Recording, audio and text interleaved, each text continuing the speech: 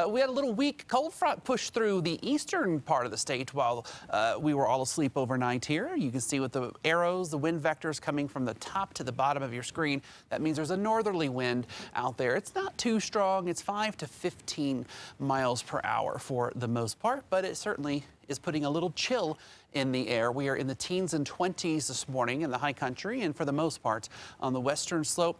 Eastern Plains primarily in the 30s or low to mid 40s. It's 45 in Colorado Springs, 36 in Boulder and Fort Collins. Pam, our weather watcher in Littleton, uh, 39. She says she can see Orion over the foothills. Our snow count continues to climb. Unfortunately, today is day 226 since the last measurable snow at the airport. We will definitely tie and beat the second place over the weekend, and then we make a run for the first place, I'm sad to say, which would take uh, place sometime next week. We have two chances for snow in the forecast. We'll see how it all shakes out. No precipitation on the radar and nothing on the futurecast. Just a couple of mid and high level clouds will pass through today.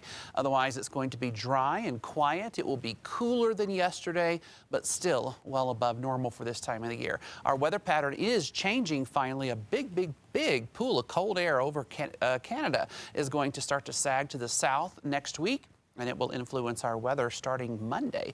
You'll see that here in the five day forecast. 60s today, or right around 60, I should say. Sunny skies, but cooler.